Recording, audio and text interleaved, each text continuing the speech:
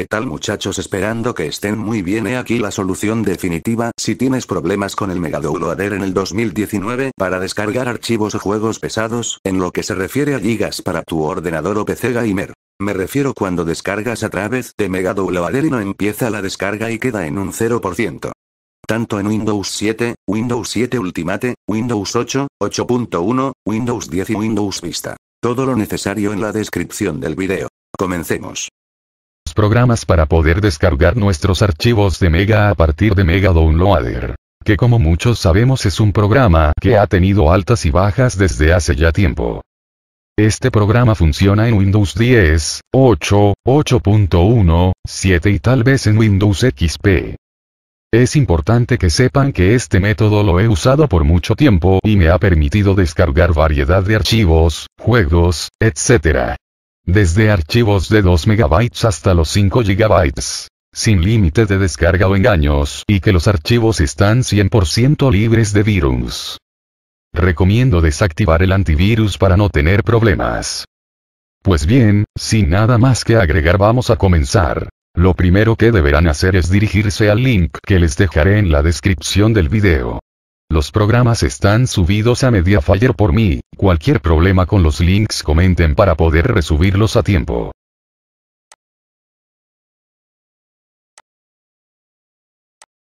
Voy a copiar y pegar el enlace en el navegador. Esperemos a que cargue completamente la página. Probablemente les aparezca una página como la que ven en pantalla. El siguiente paso es muy sencillo. De estos tres elementos que están viendo, Pertenecen a la carpeta llamada Mega Downloader. Los tres deberán ser seleccionados y darán clic aquí. Yo no los descargaré porque ya los tengo listos para comenzar con el tutorial. Una vez descargados estos archivos, puede que se descarguen sin folder o con el folder mencionado anteriormente pero tendrán estos tres archivos que están observando. El primer programa es el ya mencionado Mega Downloader. El segundo es una especie de parche. Y el tercero es el Siphon. Que utilizaremos en caso de que Mega Downloader no nos permita comenzar la descarga. Vamos a ejecutar este primer programa. Damos doble clic. Y esperamos a que se cargue completamente. Como pueden observar su interfaz gráfica es muy sencilla y fácil de manipular. Para esta prueba yo ya tengo listo un enlace con un videojuego que voy a descargar a partir de un enlace en Mega. Es importante que sepan que cualquier enlace funciona con este programa. El único requisito y que obviamente debe cumplirse es que debe ser especialmente de este servicio de nube. Realizan lo mismo que yo para poder copiar el enlace directo del videojuego. Noten que al momento de dar copiar saldrá una nueva ventana en el programa de Mega. Lo primero que deberán hacer es seleccionar a dónde quieren que se guarde su archivo a descargar. Yo en mi caso lo guardaré en el escritorio. Y por último daremos clic en agregar enlaces. Antes de continuar deben saber que habrá veces donde la descarga comience sin problemas. Otras veces la descarga no será iniciada y ahí es donde deberemos activar el siphon. Mostraré ambos casos para que puedan observar que esto es cierto. En este primer caso, la descarga comenzó sin problema alguno y no fue necesario ningún otro programa.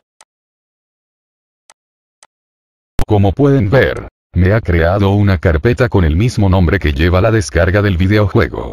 Por eso decidí guardar en el escritorio para que notaran que esto es sin engaños o trucos.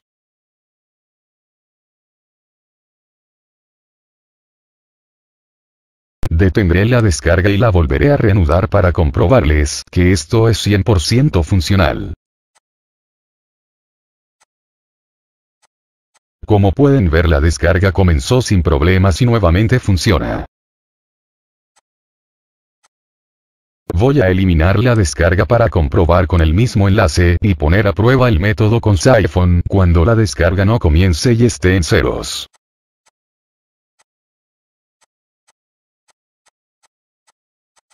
Pero al momento de comprobar la segunda opción inesperadamente la descarga volvió a iniciarse de manera automática. No entiendo por qué habrá sucedido esto. Pero realmente sirve para que ustedes vean que los errores del programa son para beneficio nuestro.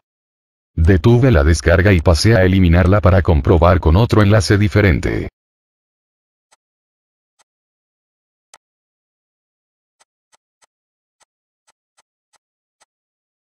Una vez más. La descarga se inició automáticamente. Justo cuando grabó este video sucede esto. ¡Qué coincidencia! Vamos a intentar con un último enlace.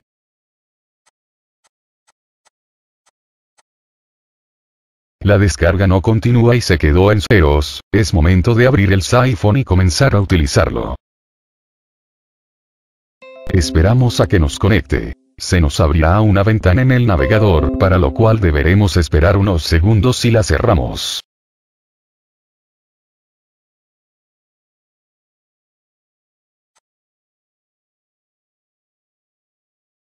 Después, lo que haremos será detener la descarga y volver a iniciarla. Y en cuanto cambie de verificando a descargando, nos desconectamos del iPhone y la descarga comenzará a la velocidad de nuestro internet.